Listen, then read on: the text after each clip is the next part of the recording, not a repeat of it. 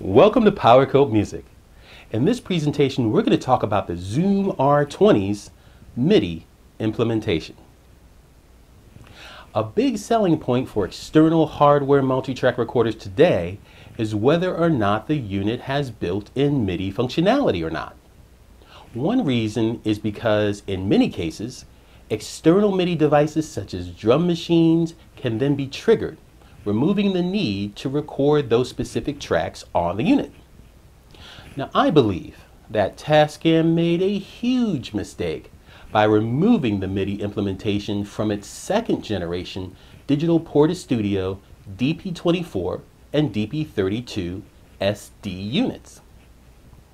This choice may have made the DPSD units cheaper and easier to support from Tascam's perspective, but that decision upset many loyal Tascam users looking to buy new or upgrade. Needless to say, Zoom did not make this mistake with its newer R20 unit.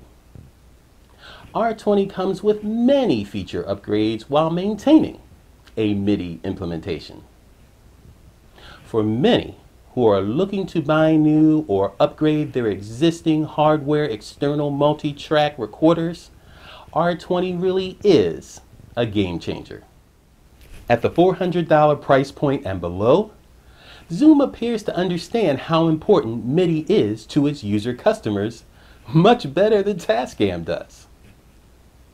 In this presentation, we're going to check out the Zoom R20's features first, and then we're going to look at how to connect a MIDI keyboard to the R20. And last but not least, we are going to do an overview of the R20's version 1 MIDI implementation. Let's start with the Zoom R20's features. This is a 16-track digital multi-track recorder, editor, and mixing workstation. It also has an LCD touchscreen and none of the other Zoom R series models have that. It also has gain controls on each channel and the faders are color coded. So if you look at the LCD display, the channels on the LCD display, those colors are the same as the trim knobs and the faders. The unit has 8 XLR channels and 2 channels include line inputs. The unit's channel 1 offers high Z and channels 5 to 8 offer 48V phantom power. A built-in drum machine includes 150 rhythm and song formations in 30 genres. And the unit features 18 onboard synthesizer sounds, so you can plug a USB MIDI keyboard into this device and be able to trigger synth sounds that way. You can also import MIDI files to add pre-recorded bass lines, effects, and other audio parts to tracks, so it makes it compatible with other hardware uh, digital recorders as well that let you export tracks.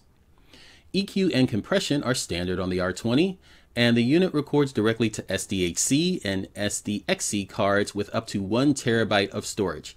Again, no other unit in the R series um, can record up to this amount of storage. One terabyte is the highest and the R20 has it. The unit also has an AC power adapter that's included and a BTA1 is sold separately. Now this is a Bluetooth adapter that allows the R20 to be controlled via the Zoom Wireless Control app on an iOS device. Now we'll check out how to use a MIDI keyboard with the R20. I want to start by saying that a keyboard is not the only MIDI device that you can use to trigger and record synthesizer sounds on the R20. You can use any MIDI enabled device that can connect and send note data using a USB Type-C cable. Now with this you're going to need to have a USB Type-C cable and keep in mind that the USB Type-C port on the R20 also supplies power. With the R20, you can also import standard MIDI files. It's pretty cool. This allows you to implement previously recorded MIDI tracks and choose the sounds you want to play those specific tracks in your productions. It's actually simple to have the R20 recognize a MIDI keyboard. First, use a USB Type-C cable to connect the MIDI keyboard to the R20. Refer to your MIDI keyboard's owner's manual for details regarding that configuration. R20 saves and manages recording and playback data in units called projects. A list of projects is shown on the projects screen. Now from the home screen, tap the round cog icon at the top right part of the screen and then tap projects to go to the projects screen. On the project screen, tap the round cog icon again at the top right part of the screen and then tap the on selection next to USB MIDI keyboard. Ensure your MIDI keyboard is configured to send note data, and you should be good to go. To disable this feature on the R20, follow the same steps previously mentioned, but tap the off selection next to USB MIDI keyboard. Then disconnect the USB Type-C cable from both devices. Now, let's view the R20's MIDI implementation to see what the unit can and can't do. The first thing that we need to understand on a MIDI implementation chart are the four MIDI modes. Now, a MIDI mode is one of many ways that a device can respond to incoming MIDI data. There are two parts to each mode, and one defines whether it's monophonic or polyphonic, which determines if it's multi-timbral or not, and the other mode determines which channel uh, that the device will respond to, either all or one. So let's start with the first MIDI mode, which is Omni on Poly. This is where the unit responds to MIDI data regardless of the channel and is polyphonic. Next is the Omni on Mono. This is where the unit responds to MIDI data regardless of the channel and is monophonic. And this is rarely used, um, if ever. The third is Omni Off and Poly. Uh, this is where the device uh, responds to MIDI data on one channel and is polyphonic. Now this is a normal mode uh, for most keyboards that are not functioning in a multi-timbral mode. Last is the Omni Off and Mono. This is where the device responds to MIDI data only on one particular channel and it's monophonic. Uh, to the right of that are the uh, the O, which will stand for yes. That means um, it does uh, function, and no, uh, which is the X for it will not. And in our chart, we have four columns. The first is the function column, uh, followed by transmitted, recognized, and um, some remarks. So the function column, uh, what we're going to do is go down each row of that column and then go across to see if it's uh, the MIDI message is transmitted or recognized. So we'll start with the basic channel uh, function. So there's two uh, attributes of the basic channel function, which is default and changed.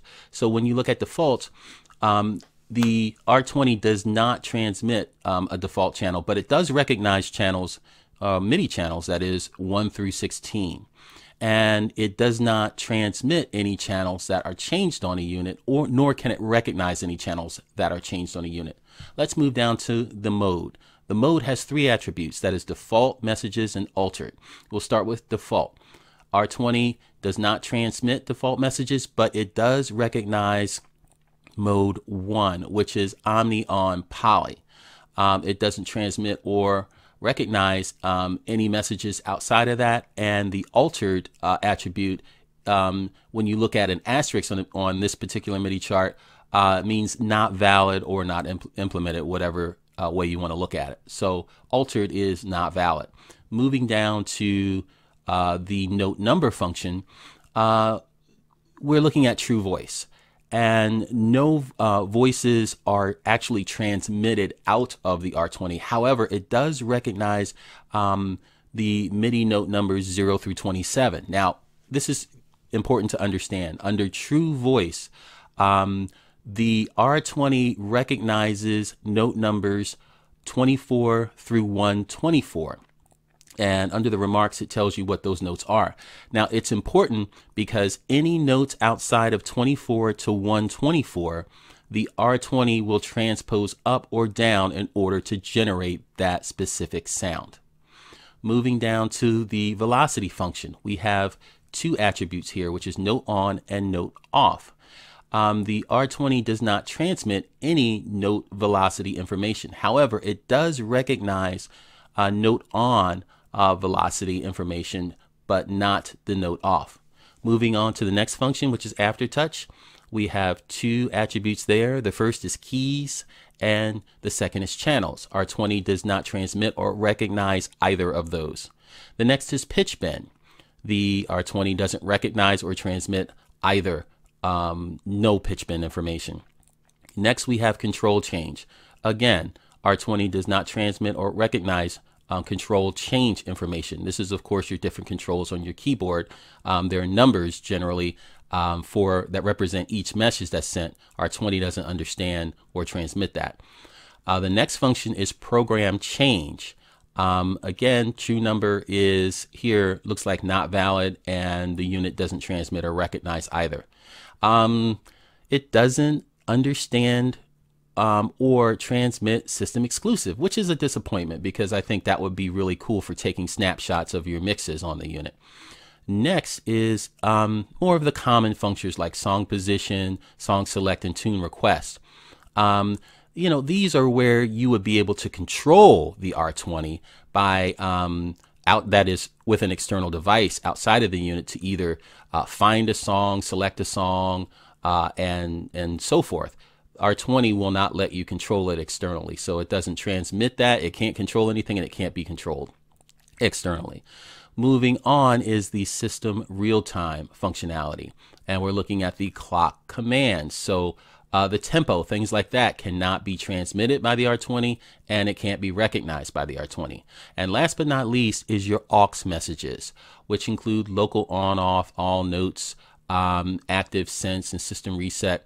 Um, none of those are transmitted by the R20. However, the only one that's actually recognized by the R20 are the all notes off. So if you send that from your MIDI keyboard or external MIDI device, it will shut down the um, notes that are being played on the R20. And there you have it. That's the MIDI implementation currently, which is version 1 uh, on the R20.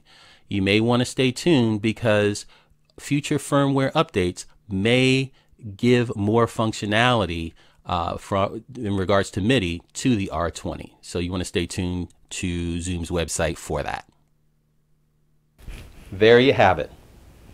Now, some will complain that the MIDI implementation on the R20 is too minimal, and that may be true. However, from my perspective, it's better to have some MIDI functionality on an external hardware multi-track recorder than none at all. Again, keep in mind that the current R20 MIDI implementation at the time of this presentation is version 1. This could significantly improve with future firmware updates for the unit, which is another reason why you should check back to Zoom's website regularly for firmware revisions, especially if you own the unit. if R20 users demand more MIDI functionality, Zoom may very well add it, so keep that in mind. R20 is a good first step for Zoom into the next level of external hardware multi-track recorders. It's by no means perfect, but practice makes perfect. Well, that is a wrap. If you like this presentation, give it the thumbs up and click the subscribe button on your screen now to join our group. We have new presentations coming out every 7 to 14 days and we would love to have you be a part of our team. Also, leave a comment in the comment section below. Let us know what you think about this presentation and check us out on Facebook, Instagram, and Spotify. Also, while you're here, listen to some of the music on the channel and check out some of the other videos and let us know what you think about that too, especially the playlist because they're designed just for you. Thank you so much for stopping by. We really appreciate it and we look forward to seeing you soon.